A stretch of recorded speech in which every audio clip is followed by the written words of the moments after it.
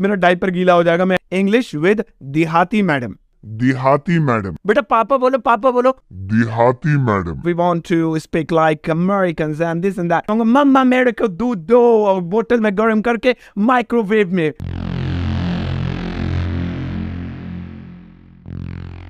Hey guys welcome back to Sartaj sir की class भाई, आज की वीडियो खास तौर पर बनाई है मैंने बहाना बनाने वालों के लिए। जी हाँ जो लोग बहाना बनाते हैं, बहाना बनाना पसंद करते हैं, उनको ये वीडियो ज़रूर देखनी चाहिए। जैसे कि आप जानते हैं कि मैं इंग्लिश का कंटेंट बनाता हूँ यूट्यूब और फेसबुक पर, और इंग्लिश पढ़ाता हूँ, लाखों लोगों को अपने देश में, देश से बाहर, विदेशों से लोग मुझे देखते हैं। और अपनी पूरी ज़िंदगी में मैंने एक प्रकार के लोग तो ज़रूर देखे हैं, और बहुत ही ज़्यादा तादाद में देखे हैं। और वो वो लोग होते हैं जो बहाना बनाते हैं। पता है कैसा बहाना? अंग्रेज़ी ना बोलने का बहाना। उनका ये कहना है कि इंग्लिश हम इसलिए नहीं बोलते हैं क्योंकि ना गलत ना निकल जाए इसलिए डर लगता है मतलब शर्म आती है। आ, गलत बोलेंगे ना कोई हंसेगा या थोड़ी पर्सनैलिटी अच्छी हो जाए ना तब मज़े से बोलेंगे तब जरा अच्छे से बोलेंगे। अरे सर अभी वो टूटी फूटी आती है ना अभी बोलेंगे नहीं।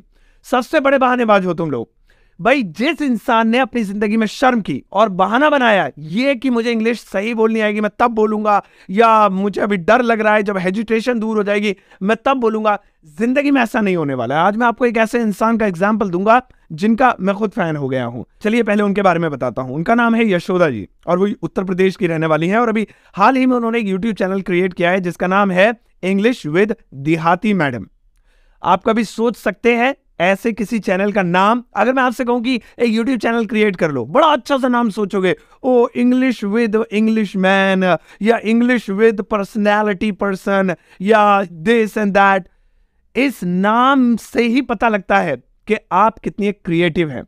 मैडम का जो ये चैनल है, मैडम ने इंग्लिश इंग्लिश में इसमें कंटेंट डालती हैं इंग्लिश में बात करती हैं आप कभी उनका बैकग्राउंड देखना किस बैकग्राउंड पर वो वीडियो बनाती हैं किस तरह के इक्विपमेंट्स वो यूज़ करती हैं वीडियोस बनाने के लिए और किस तरह से वो अपने आप को डेडिकेट करती है पूरी तरह से वीडियोस को। कभी भी बहाना नहीं बनाती और साथ ही साथ सबसे बड़ी चीज़ शो ऑफ़ नहीं करती हैं। बहुत सारे लोग होते हैं शो ऑफ़ मतलब के इंग्लिश बोलेंगे ना मतलब आ, आ, वो एक्सेंट होना चाहिए we want to speak like American and this and that वो सब नहीं। सबसे पहले आप ये डिसाइड कर लीजिए कि आपको करना क्या है। और यार, कर डालो, किसी की शर्म मत करो।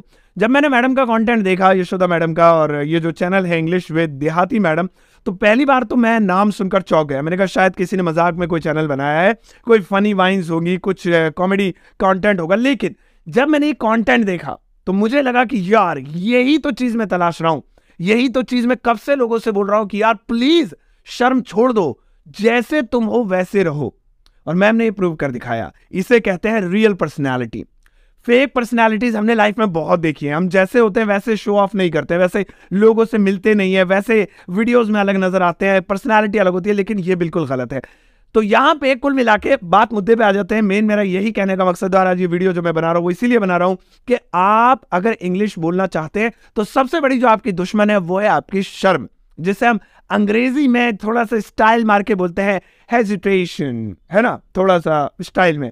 इस हेजिटेशन को बेच खाओ। यानी कि आपने अगर हेजिटेशन की, ज़िंदगी में आप कभी इंग्लिश नहीं बोल सकते। मैं एग्ज़ाम्पल बार बार देता हूँ और एक बार फिर से दे रहा हूँ। और वापस अपनी बात को खत्म करते हुए कुछ और शब्द कहूँगा। कभी आपने छोटा बच्चा आपके घर में, आपके आस पड़ोस में, आपके मोहल्ले में, आपके रिश्तेदारों में होगा। आपने देखा है कि कभी भी वो जो भी भाषा आप बोलते मान लीजिए हिंदी बोलते तो वो हिंदी फ्लुएंट नहीं बोलता है। हमेशा तुतला के बोलता है हकला के बोलता है, कोई भी वर्ड और आपको कितना मज़ा आता है उसके वर्ड सुनकर। बेटा पापा बोलो पापा बोलो, वो पा, बस इतना बोल के चुप हो जाता है। बेटा मम्मी बोलो, मम्मी, मम्मा, ऐसे बोल के चुप हो जाता है। अगर वो बच्चा सोच ले, ओ, शर्म आ रही है मुझे मुझे तो सब लोग देख रहे हैं, मैं नहीं मैं नहीं, मेरा डाइपर गीला हो जाएगा, मैं ऐसे किसी के सामने नहीं बोलूँगा। जिस दिन मुझे फ्लुएंट आएगी मैं एकदम सो के उठूँगा और कहूँगा, मम्मा, मेरे को दूध दो। और बोतल में गर्म करके माइक्रोवेव में उस दिन मैं बोलना शुरू करूँगा। आपको लगता है कभी वो ज़िंदगी में बोल पाएगा? नॉट एट ऑल हमेशा कोई भी बच्चा जब चलना सीखता है तो पहले लड़खड़ाता है और यही इंग्लिश में, यही लैंग्वेज में होता है कि हमेशा आपको गलत से ही शुरुआत करनी है। यहाँ पे मैम का एग्ज़ाम्पल ये बताने के लिए है कि उनके अंदर हेजिटेशन नहीं, जो वो है वो है। उनकी इंग्लिश सुना कभी? एररलेस बहुत वो मिस्टेक नहीं करती, बहुत तगड़ी इंग्लिश है उनकी। और सबसे बड़ी बात है इंग्लिश तगड़ी हो, ना हो ग्रामर पावरफुल हो, ना हो, मायने नहीं रखता। मायने रखता है, आपके अंदर हेजिटेशन डर है या नहीं है? आप कितना भी अच्छा बोल लो, अगर मैं स्टेज पर खड़ा कर दूँ ना और पाँच हज़ार लोग सामने खड़े होंगे और माइक थमा दूँ, पैर कांपने लग जाएँगे नीचे से। इसके लिए ना जिगर चाहिए था जिगर, जो मैम ने करके दिखाया है। तो मैं यही कहूँगा, इस चैनल को आप देखें इंग्लिश विद देहाती मैडम, और यहाँ से सीख लें कि किस तरह से जो आप हैं वो आप बने, डरे नहीं। और मैं आपसे भी कहूँगा, अपनी वीडियोस बनाओ इंग्लिश बोलने की। आप पोस्ट मत करो मैं ये नहीं कह रहा यूट्यूब पे आ जाओ। आना है तो आओ, बहुत बढ़िया, स्वागत है आपका। लेकिन अगर आपको यूट्यूब पर नहीं आना, तब भी वीडियोस बनाओ। और वीडियोस बना बनाकर खुद की वीडियोस देखो। अपनी पर्सनल छुपा के रखो और उसे देखो इंग्लिश में आप किस तरह से बोलते हैं और आपकी क्या इंप्रूवमेंट है।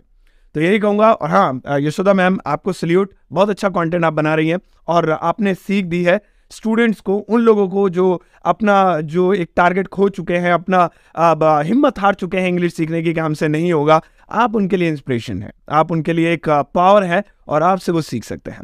इस वीडियो को सबके साथ शेयर कीजिएगा और अगर कोई कमेंट हो तो कमेंट सेक्शन आप ही के लिए बना है। और हाँ जाते जाते एक टुच्चा सा प्यारा सा लाइक देकर जाना।